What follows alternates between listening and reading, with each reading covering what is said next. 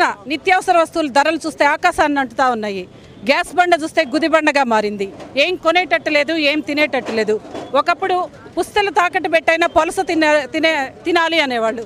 కానీ ఇప్పుడు చూస్తే పుస్తలు తాకట్టు పెట్టైనా పట్టెడన్నం తింటే చాలు అంటున్నారు. మంది ఎక్కువైతే మజ్జిగ పలసనవుతుంది అనేది పాత సామెత.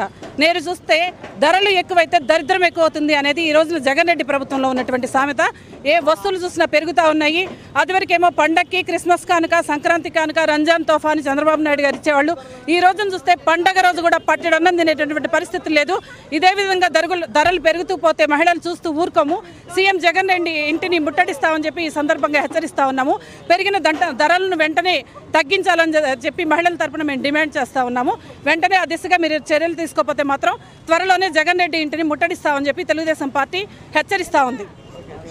నిత్యావసర వస్తువుల ధరలు చూస్తే ఆకాశాన్ని అంటుతా ఉన్నాయి. గ్యాస్ బండ చూస్తే గుదిబండగా మారింది. ఏం కొనేటట్టు లేదు ఏం తినేటట్టు లేదు. ఒకప్పుడు పుస్తలు తాకట్టు పెట్టైనా పొలస తినే తినే తినాలి అనేవాళ్ళు. కానీ ఇప్పుడు చూస్తే పుస్తలు తాకట్టు పెట్టైనా పట్టెడన్నం తింటే చాలు అంటున్నారు. మంది ఎక్కువైతే మజ్జిగ పలసనవుతుంది అనేది పాత సామెత. నేను చూస్తే ధరలు ఎక్కువైతే దరిద్రం ఎక్కువ అవుతుంది అనేది ఈ రోజున జగన్ రెడ్డి ప్రభుత్వంలో ఉన్నటువంటి సామెత. ఏ వస్తువులు చూసినా పెరుగుతూ ఉన్నాయి. అదివరకేమో పండక్కి క్రిస్మస్ కానుక సంక్రాంతి కానుక రంజాన్ తోఫాని చంద్రబాబు నాయుడు గారు ఇచ్చేవాళ్ళు. ఈ రోజున చూస్తే పండగ రోజు కూడా పట్టడం తినేటటువంటి పరిస్థితి లేదు. ఇదే విధంగా ధరలు ధరలు పెరుగుతూ పోతే మహిళలు చూస్తూ ఊరుకోము. సీఎం జగన్ రెడ్డి ఇంటిని ముట్టడిస్తామని చెప్పి ఈ సందర్భంగా హెచ్చరిస్తా ఉన్నాము. పెరిగిన దంట ధరలను వెంటనే తగ్గించాలని చెప్పి మహిళల తరపున మేము డిమాండ్ చేస్తూ ఉన్నాము.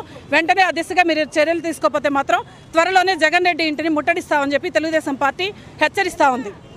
ఇలాంటి ఇంట్రెస్టింగ్ వీడియోస్ కోసం తప్పకుండా మా ఛానల్ని సబ్స్క్రైబ్ చేయండి.